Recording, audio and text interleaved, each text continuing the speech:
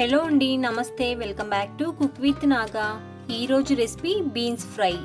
Beans ఫ్రైని ఒక్కసారి ఇలా ట్రై చేశారంటే ఎవరైనా సరే ఇష్టంగా తింటారు. తప్పకుండా ట్రై చేసి చూడండి ఎలా చేయాలో చూసేద్దాం. నేను మూడు వందల యాభై గ్రాముల వరకు బీన్స్ తీసుకున్నాను. వీటిని శుభ్రంగా కడిగి ఈ విధంగా కట్ చేసుకొని రెడీ చేసుకోవాలి. అలాగే పెద్ద సైజు ఒక ఉల్లిపాయని ఈ విధంగా కట్ చేసుకుని పక్కన పెట్టి స్టవ్ ఆన్ చేసి కళాయి పెట్టి టూ టేబుల్ స్పూన్స్ పల్లీలు వేసుకొని లో ఫ్లేమ్లో ఫ్రై చేసుకోవాలి. ఇవి కాస్త ఫ్రై అయిన తర్వాత పావు కప్పు ఎండి కొబ్బరి ముక్కలు వేసి ఇలాగే లో ఫ్లేమ్లో ఫ్రై చేసుకోవాలి. ఈ రెండు పూర్తిగా ఫ్రై అయిన తర్వాత వన్ టీ స్పూన్ జీలకర్ర వేసి కొద్దిగా వేగిన తర్వాత వన్ టేబుల్ స్పూన్ నువ్వులు వేసి కలుపుతూ స్టవ్ ఆఫ్ చేసేయాలి. వీటన్నింటినీ ఒక ప్లేట్లోకి తీసుకొని చల్లారి పెట్టుకోవాలి.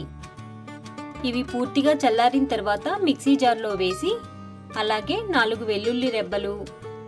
మీరు తినే స్పైసీని బట్టి కారం యాడ్ చేసుకొని ఇలా మెత్తగా గ్రైండ్ చేసుకొని పక్కన పెట్టేయండి.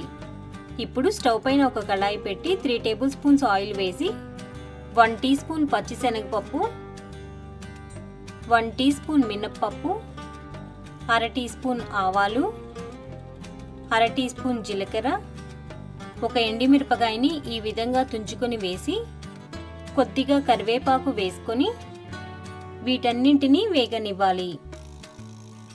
తాలింపు మొత్తం వేగిన తర్వాత కట్ చేసుకున్న ఉల్లిపాయ ముక్కలు కూడా వేసుకొని ఫ్రై చేసుకోవాలి.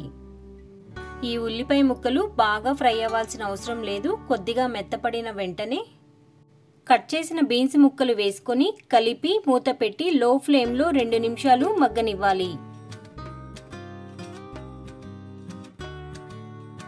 ఇలా రెండు నిమిషాలు ఆయిల్లో మగ్గించుకున్న తర్వాత మూత తీసి అర టీ స్పూన్ పసుపు రుచికి సరిపడా ఉప్పు వేసి కలుపుకొని పూర్తిగా ఫ్రై అయ్యే వరకు లో ఫ్లేమ్లో మూత పెట్టి మధ్య మధ్యలో మూత తీసి కలుపుకుంటూ ఫ్రై చేసుకోవాలి. చూడండి ఇలా బాగా ఫ్రై అయిన తర్వాత మనం గ్రైండ్ చేసి పక్కన పెట్టుకున్న మసాలా మొత్తాన్ని వేసి కలుపుకొని రెండు నిమిషాల పాటు ఫ్రై చేసుకోవాలి. ఇది లంచ్ బాక్స్లోకి అయితే చాలా బాగుంటుంది. ఇలా రెండు నిమిషాల పాటు మధ్య మధ్యలో మూత తీసి కలుపుకుంటూ ఫ్రై చేశారంటే సూపర్ టేస్టీగా బీన్స్ ఫ్రై రెడీ. ఇది అన్నంలో కలుపుకొని అలాగే తినేయచ్చు. టమాటో చార్తో కానీ పప్పు చార్తో కానీ సైడ్ డిష్గా సూపర్గా ఉంటుంది. చూశారు కదా మీరు కూడా ఒక్కసారి ట్రై చేసి ఎలా వచ్చిందనేది కామెంట్ రూపంలో తెలియచేయండి. ఈ వీడియో మీకు నచ్చినట్లయితే లైక్ చేయండి సబ్స్క్రైబ్ చేయండి. మరొక మంచి రెసిపీతో మళ్ళీ కలుద్దాం. Thank you for watching friends